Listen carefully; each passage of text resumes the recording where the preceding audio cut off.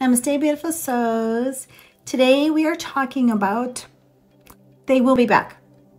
The people that mocked you, the people that betrayed you, the people that took you for granted, people didn't know who you were. They will be back. This is when we need to have discernment. Have you learned the lesson? Have you leveled up? To your Empress mode? Have they leveled up? Are they going to be the same person? Do you love yourself enough to know your worth? To love yourself enough to walk away? They will be back. The people that knocked you down when you needed their help, the people that walked away from you when you needed them, the people who stabbed you in the back, betrayed you, mocked you, made fun of you to their family, to their friends, to their community, the people who tried to sabotage you at work, try to block you, they will be back.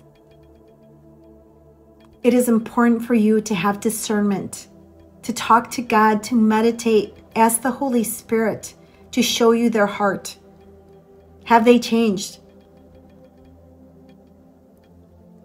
Some of you still don't know your worth and you're accepting people back that have no business being in your life again.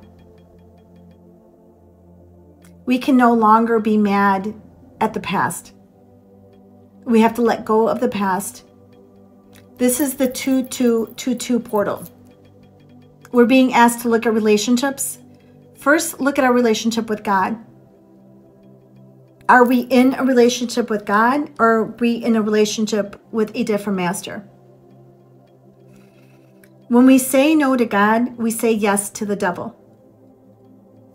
That should be your first relationship. Where are you? Your second relationship is to yourself.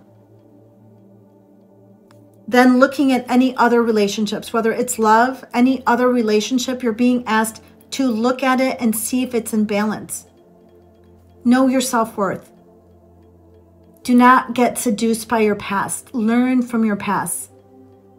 Learn love, forgive, and release. They will be back. It's not a matter of time of when they're coming back. It's a matter, and it should be, if you're taking them back. If you know your worth. I hope this helps. I'm sending you so much love. Namaste. I love you guys.